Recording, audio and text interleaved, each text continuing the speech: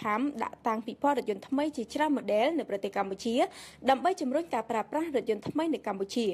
ថ្លែងនៅក្នុងសន្និសីទសារព័ត៌មាននៅផ្សារទំនើប Eon លោក Michael Wetter ប្រធានគណៈកម្មាធិការរថយន្ត Eurocham បានបញ្ជាក់ថាវិស័យផ្គត់ផ្គង់រថយន្តមានការរីកចម្រើនយ៉ាងខ្លាំងនៅកម្ពុជាដែលជាសញ្ញាមួយដ៏ល្អសម្រាប់ប្រជាជននិងសេដ្ឋកិច្ចនៃប្រទេសកម្ពុជាឯកឧត្តមគុណញឹមអគ្គនាយកគយនិងរដ្ឋកោបានលើកឡើងថាប្រទេសកម្ពុជាបច្ចុប្បន្ននេះមានកំណើននៃការប្រើប្រាស់រថយន្តមួយទឹកនិងរថយន្តថ្មីស្របគ្នាប៉ុន្តែការប្រើប្រាស់រថយន្តមួយទឹកគឺមានចំនួនច្រើនជាងបើធៀបនឹងការប្រើប្រាស់រថយន្តថ្មីដោយសារមូលហេតុផ្សេងៗសូមបញ្ជាក់ថាបច្ចុប្បន្នបរិមាណនៃការប្រើប្រាស់រថយន្តមួយទឹកនៅក្នុងប្រទេសកម្ពុជា មានចំណែកទៅដល់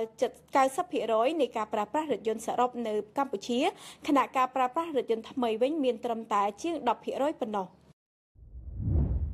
ឥឡូវនេះយើងបញ្ចប់នៅព័ត៌មានសេដ្ឋកិច្ចជាតិយើងបន្តទៅព័ត៌មានសេដ្ឋកិច្ចអន្តរជាតិវិញតេតិនទៅនឹងប្រទេសចិនយើងឃើញថាប្រទេសចិន កំពុងតែពិចារណានឹងការយកពន្ធទៅលើផលិតផលនាំចូលពីអាមេរិកដែលមានតម្លៃជាង3000ដុល្លារសហរដ្ឋអាមេរិក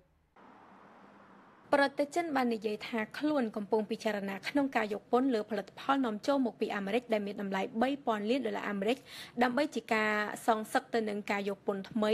ដែលត្រូវបានប្រកាសដោយប្រធានាធិបតីអាមេរិកលោក Donald Trump I think such accusations are totally groundless បញ្ជីផលិតផលដែលស្ថិតនៅ